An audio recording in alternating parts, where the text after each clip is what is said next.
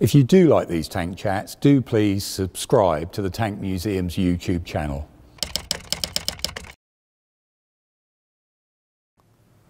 Now this is FV4202.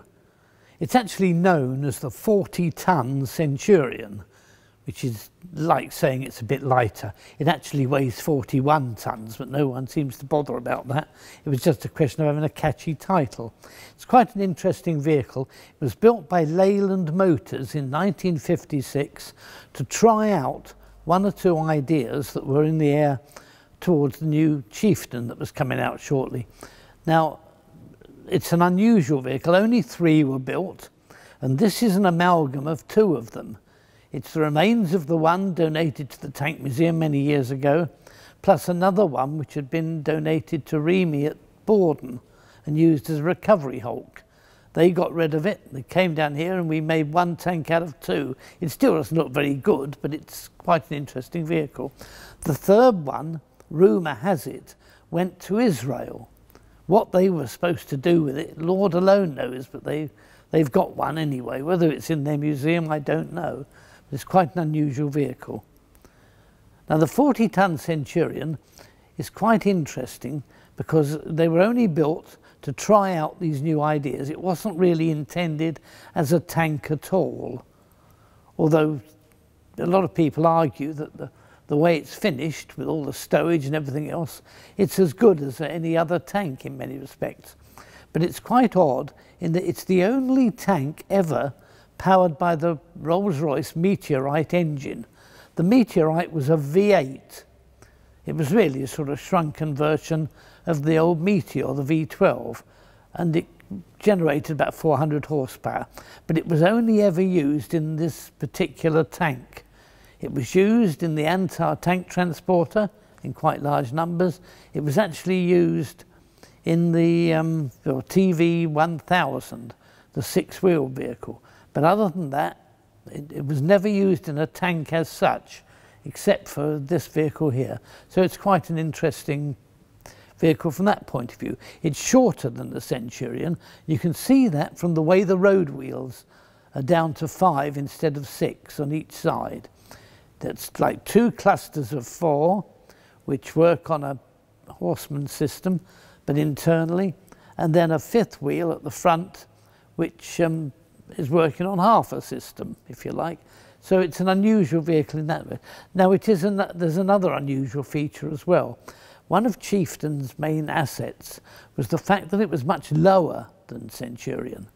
And for that reason, they used a 28 inch diameter road wheel, a bit smaller than the road wheel on Centurion.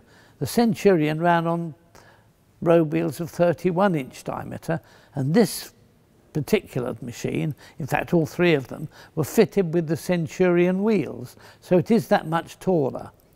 But it has two other features which are specifically done to test out ideas for um, Chieftain.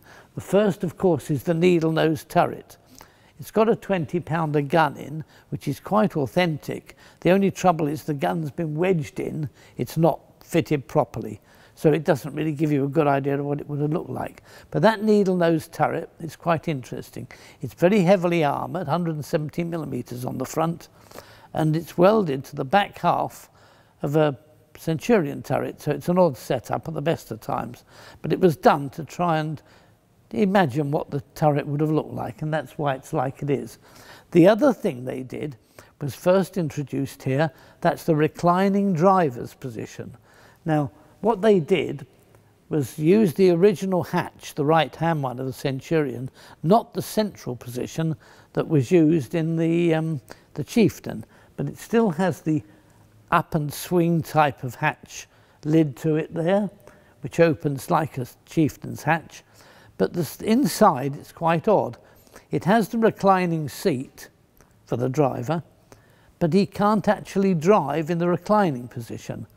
In the reclining position in the Chieftain, the driver has two steering levers close by his side and he has a foot operated gear change, rather like on a motorcycle. On this, he's got the normal gear change of a Centurion between his knees which actually normally takes both hands to change, and he has a full set of pedals arrayed across the front, which are difficult to work, impossible in fact to work lying down. You can only work on them sitting upright. And it has steering levers well forward, so you have to sit upright to drive the tank properly anyway. But it's got this reclining seat, so that the driver can at least show the reclining position in this hull, but it does seem an odd arrangement, not being geared up to take the chieftain's method of driving at all. It's pure Centurion in that respect. Um, same transmission, Merritt Brown, and the same uh, driving arrangements at the front as the Centurion, which makes it quite an interesting contrast because it's not merely meant to be like that at all. And that allows for this strange shape. Um, the tank's actually fitted with a set of Centurion hush puppy tracks. They're these tracks with the rubber blocks on. They're not the originals. The original tracks were like Centurion open weave, but narrower, and um, they've, they've gone somewhere. They've got lost in the process of time, and these ones have replaced it.